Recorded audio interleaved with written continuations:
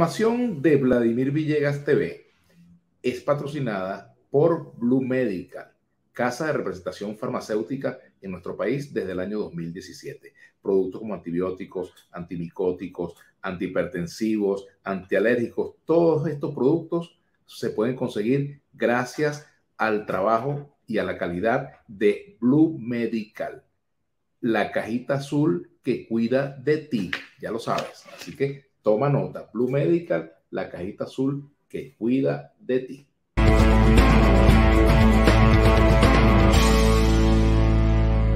Este programa es una presentación de mi cochinito favorito, cómaselo asado o cómaselo frito. Detrás es Loaiza, elegancia y distinción y siempre a la moda. De Motro, tu auto, tu familia. De Top Fix Cars, mejor mantenimiento y más seguridad para su vehículo. De Binario Internacional, asesoría en comunicaciones y redes sociales. De Óptica Berlut, para que veas tú, tú y tú. Y de sportsvenezuela.com, los nuestros primeros. Bueno, bienvenido. Gracias. Tanto César Almeida como Gloria Piño. Ya Gloria nos había acompañado acá en Vladimir la Carta. No había tenido la oportunidad de entrevistar a César, pero bueno, llegamos en la raya para entrevistarte. Así es. Bienvenidos ambos. Bueno, vamos a darle primero la palabra a la ama, ¿verdad? Bienvenida, Gloria. Gracias, gracias, a ustedes. Voy a conectarme yo también ahora en mi Instagram para transmitir también la, la conversación con ustedes en este momento. Bueno, gracias por la invitación. Este, me siento honrada nuevamente de estar en tu programa, sobre todo para la oportunidad necesaria de comunicarnos con todas las personas y de hacerles de su conocimiento, pues, bueno, ya no de hacer de su conocimiento, porque esto lo vengo repitiendo desde hace muchísimo tiempo, desde hace muchísimo tiempo lo que ha venido ocurriendo con las primarias, pues lo que ha venido ocurriendo con todo lo relacionado con las primarias presidenciales. Fíjate, hay algo importante con lo que quiero arrancar, Vladimir. Hemos hablado de los inhabilitados y hemos hablado de lo que ocurre con los inhabilitados al momento de la elección presidencial, a la postulación de la elección presidencial. Y fíjate que una vez más nos dan la razón los hechos y el tiempo, donde en una negociación no se levanta la inhabilitación de esta persona que, la, que, casi, por decirte a ti un número importante de ciudadanos, aspiran que sea ella la que gane estas primarias presidenciales. Si observamos quiénes son los que están en esta mesa de negociación, te vas a dar cuenta que son los mismos que le han levantado la mano a Guaidó, que son los mismos que han llamado a la abstención, que son los mismos que llamaron a los bloqueos, a las sanciones, etc.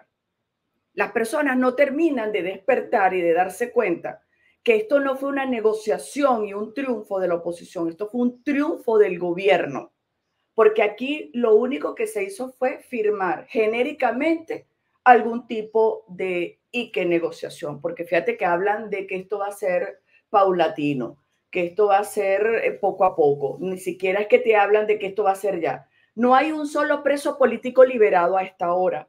Yo tengo entendido que, que, van a ir saliendo en el transcurso de estos días, lo que tengo entendido. Pero no sabemos quiénes, no, sabemos cuál ha sido la óptica para esa liberación, porque estamos hablando de 300 presos políticos.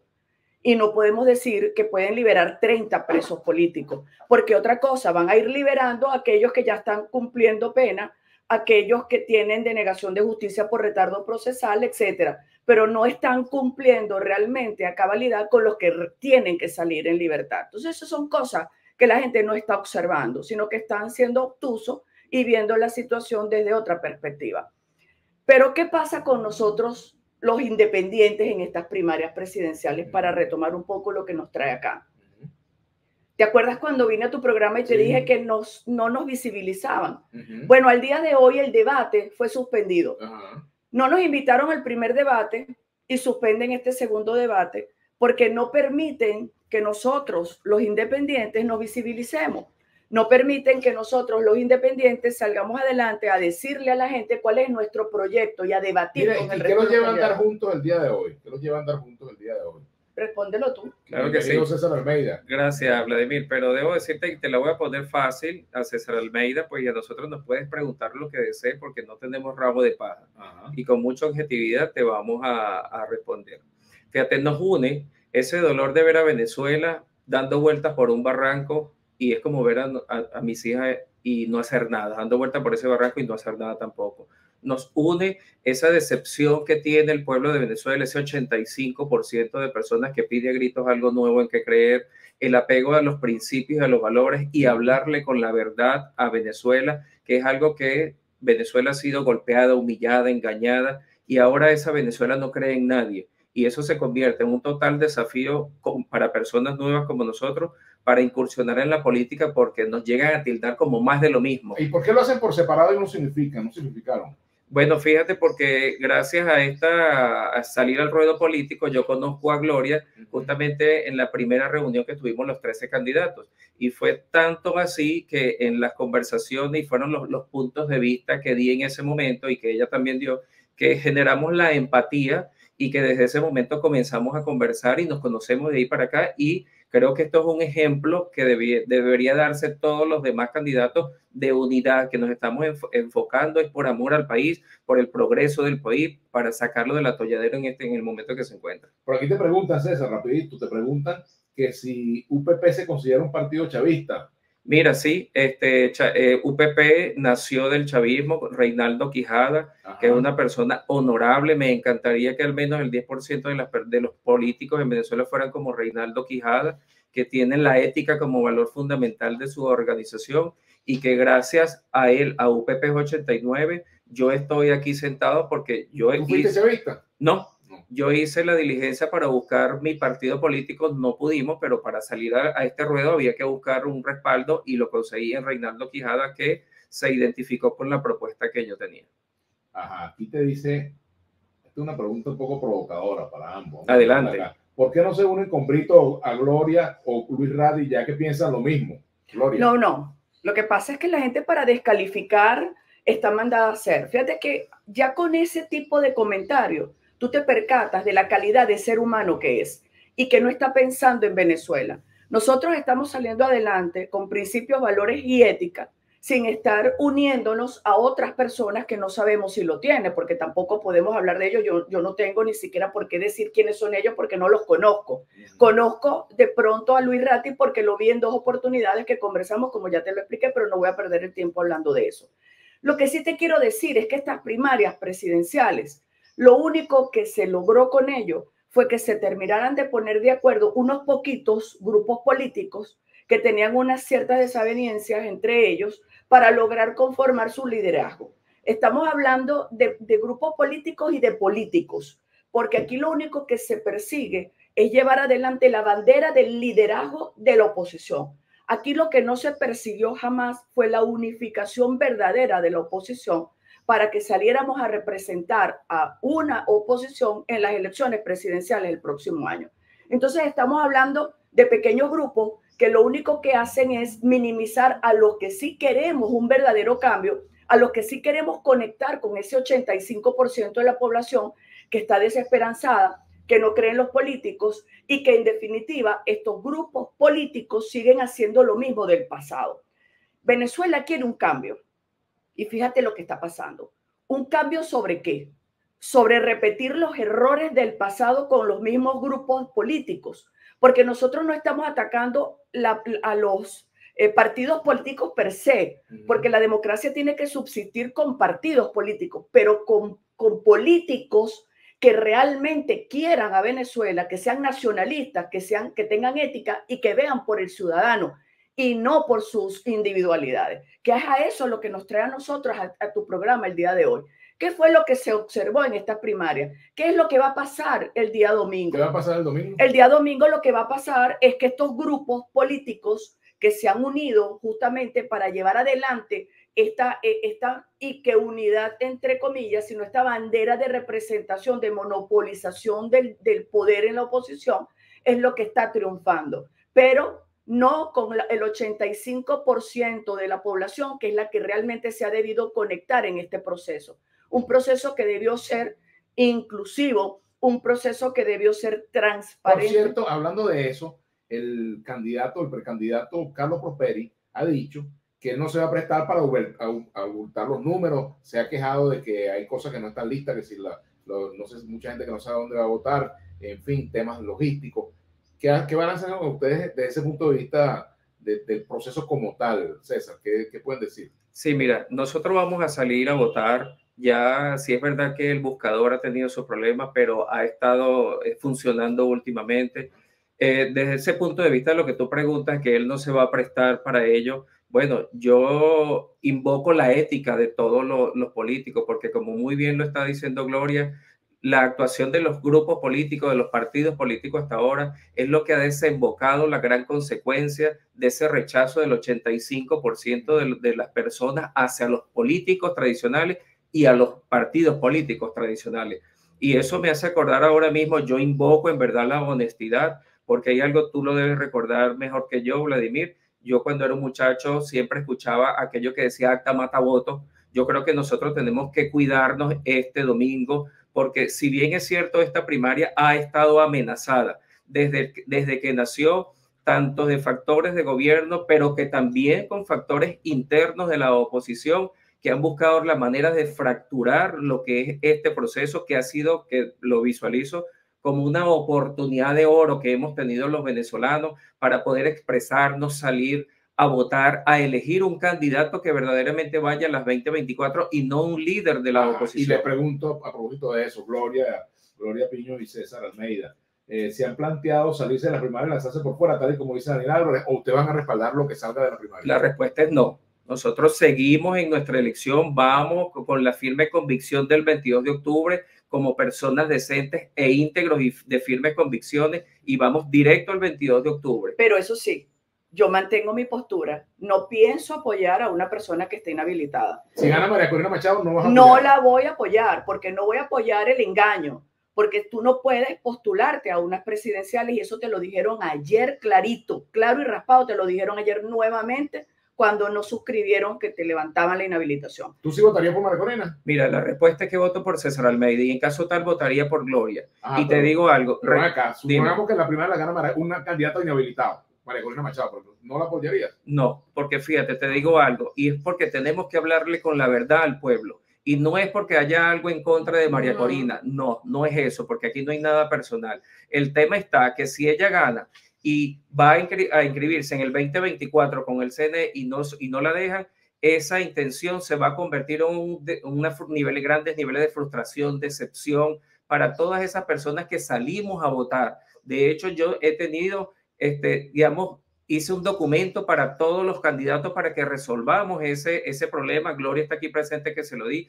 Varios de los candidatos me dieron respuesta, otros no me dieron respuesta porque, y esto no se ha hecho público porque yo como una persona decente que respeta los caminos regulares, yo fui directo a los 13 candidatos. Mire, señores, tenemos esta situación, tenemos que hablarle claro al país, no podemos engañar a Venezuela. Venezuela ya está como ese dicho que dice que el que es picado de culebra no puede ir un bejuco porque se asusta. Ya Venezuela ha sido picada de culebra muchas veces. Entonces, ¿le vamos a lanzar nosotros una picada más? No, señor. Nosotros le vamos a hablar con la verdad al pueblo de Venezuela porque tenemos que la, gente decente salir adelante porque los malos avanzan porque los buenos no hacemos nada. Pero fíjate, aquí te pregunta Gloria y también a César, pero para que tú lo respondas, Gloria.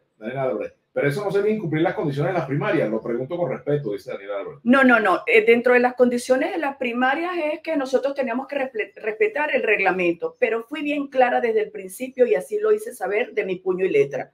No respaldaré a un inhabilitado. Y eso de llegar hasta el final, ¿qué significa? Que esa esperanza va a ir increciendo con las personas que están de acuerdo con apoyar a María Corina hasta el día anterior al cierre de la inscripción presidencial.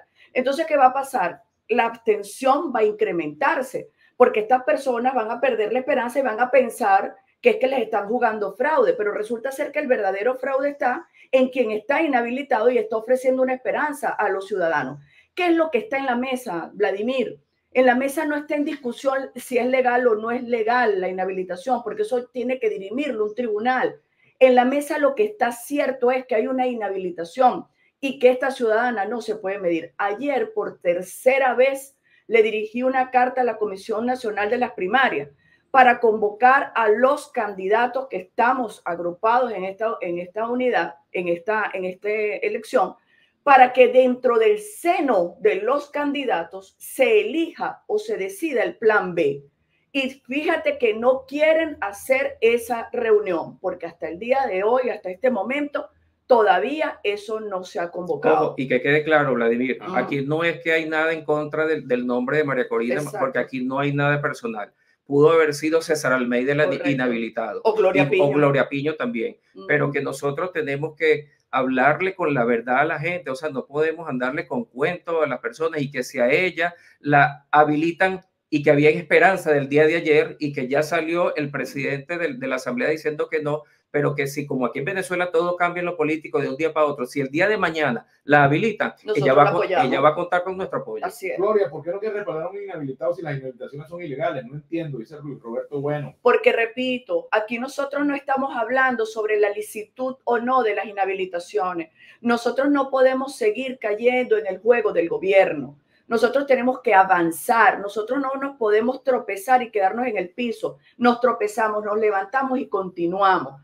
Como dice César, nada en contra de María Corina. Lo único que nosotros necesitamos es avanzar hacia una verdadera unidad y no hacia un liderazgo que están buscando ciertos partidos políticos y ciertos políticos que realmente no agrupan a la mayoría de la población. Te pregunta aquí Gabriel Rangel, ¿el señor y la señora son amiguitos de Diosdado?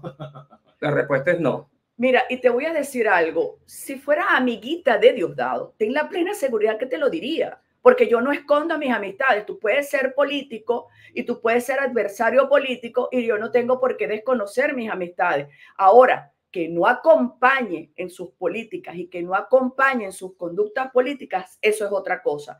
No soy chavista, soy independiente.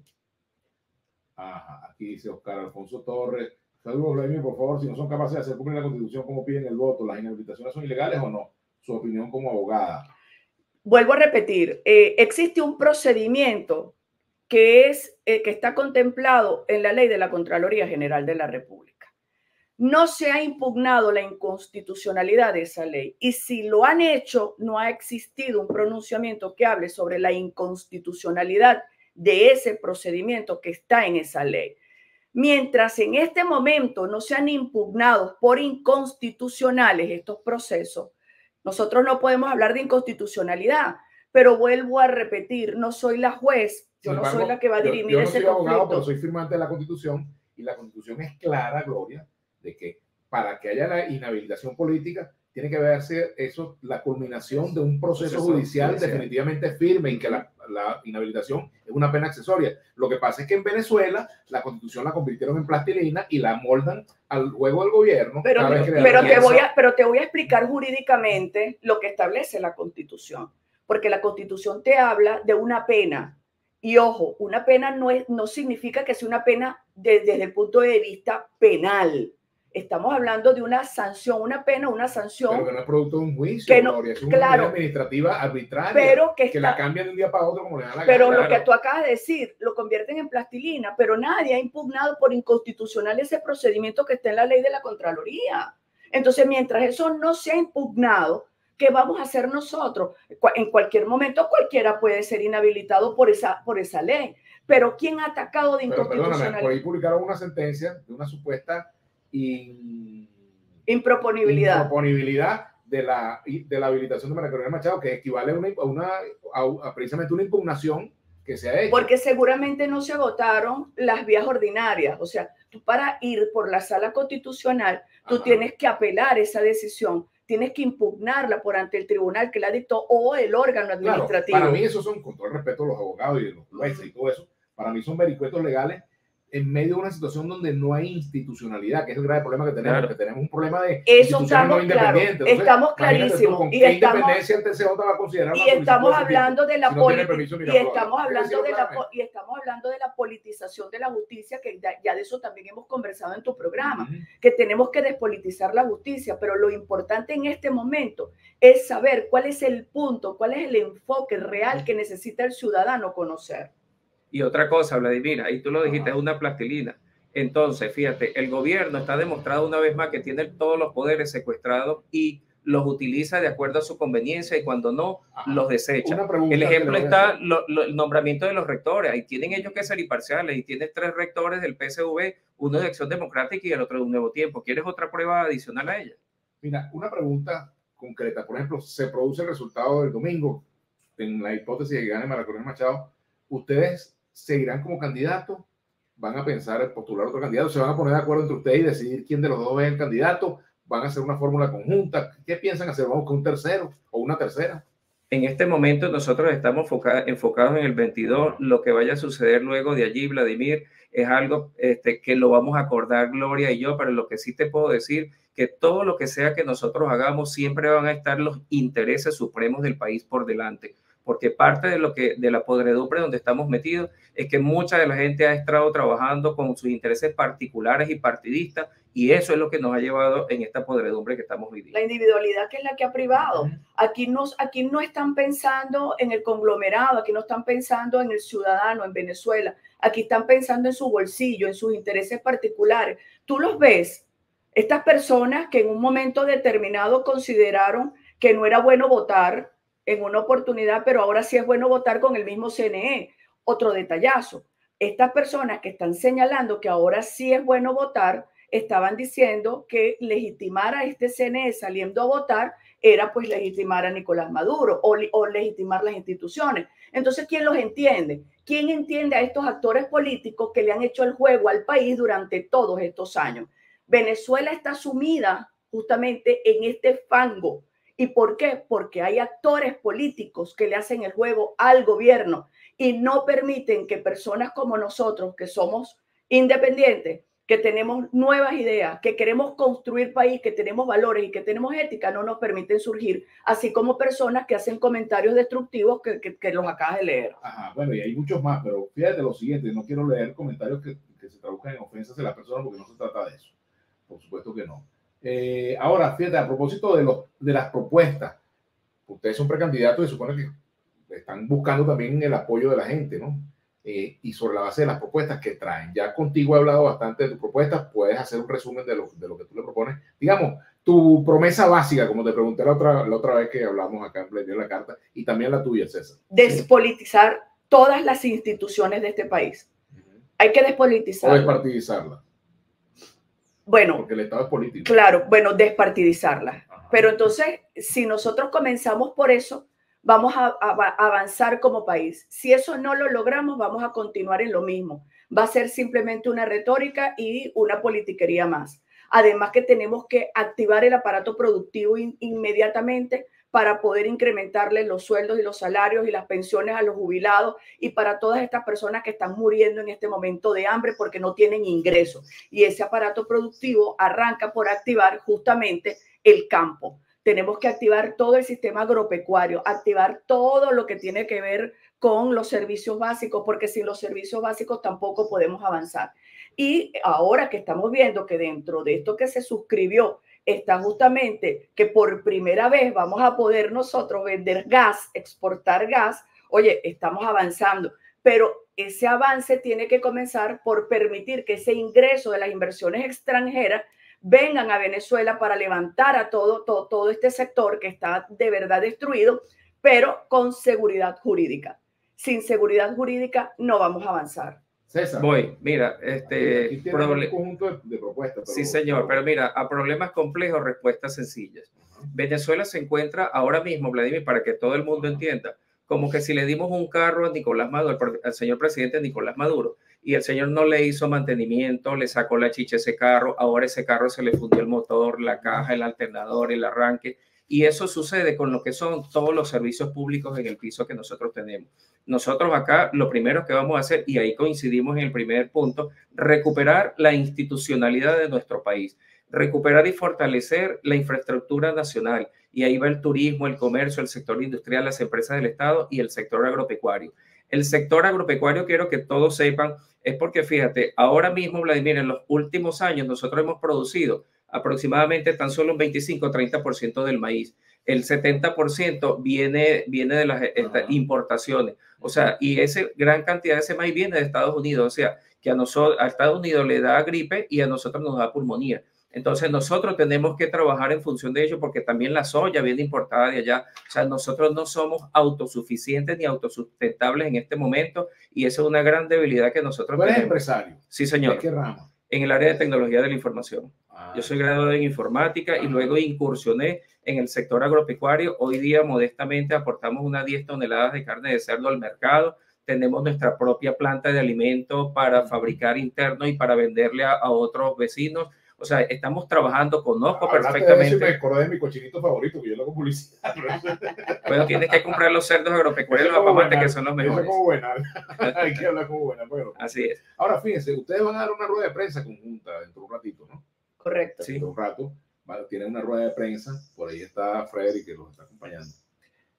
¿Cuál va a ser el titular de esa rueda de prensa? ¿qué, ¿Qué quieren ustedes decirle al país en esa rueda de prensa que van a convocar? Que estas primarias dejó de conectar con el 85% de la población que está descontenta. Eso es lo que nosotros queremos decirle a la gente.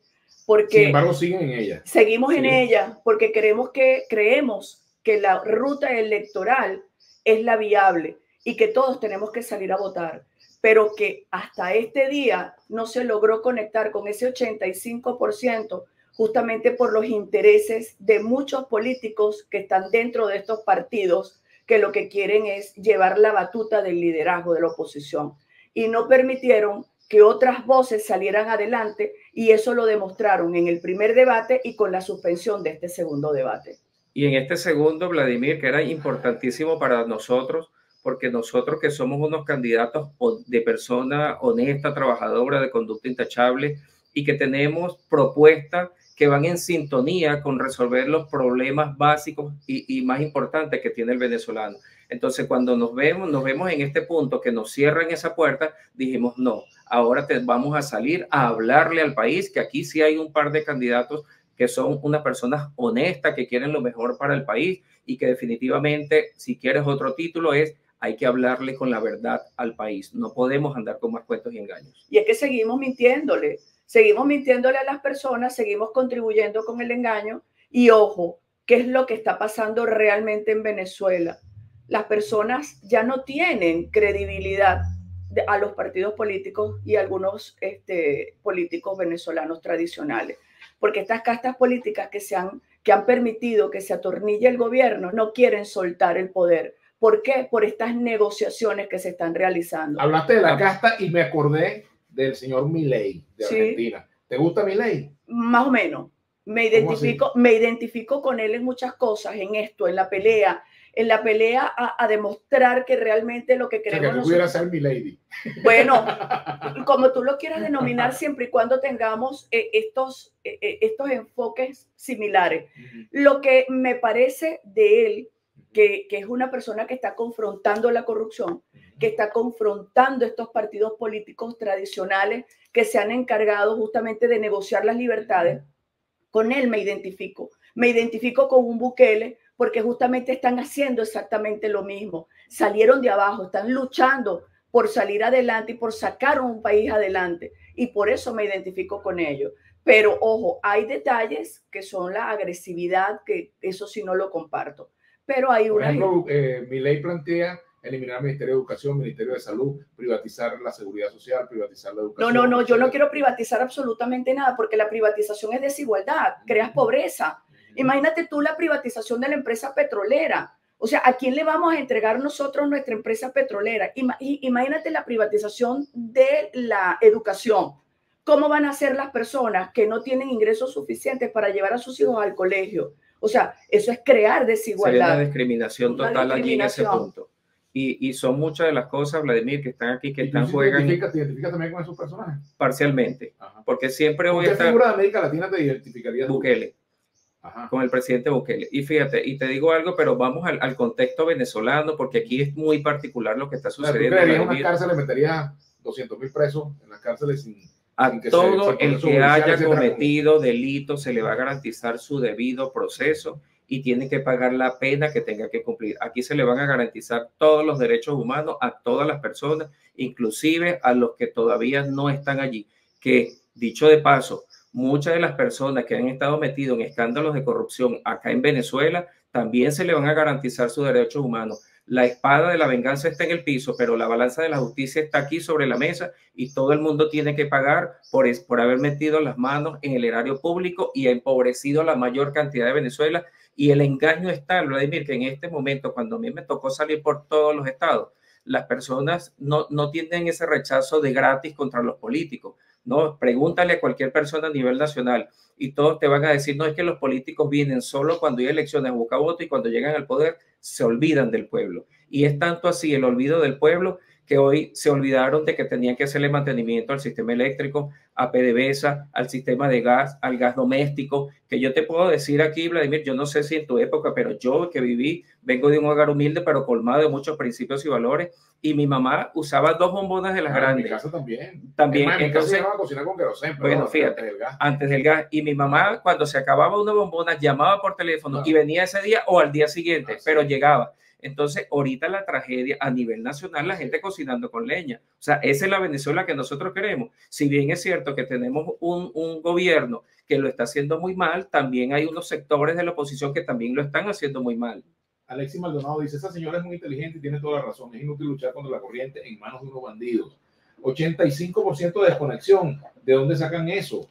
Bueno, de las verdaderas estadísticas, porque el problema es que las personas están viendo el marketing, están viendo los números de las redes sociales, pero salgan a la calle. Para nosotros que estamos en la calle, conectados con la gente y, y buscamos justamente la opinión de cada una de las personas, les podemos decir que muchos están desconectados de la realidad.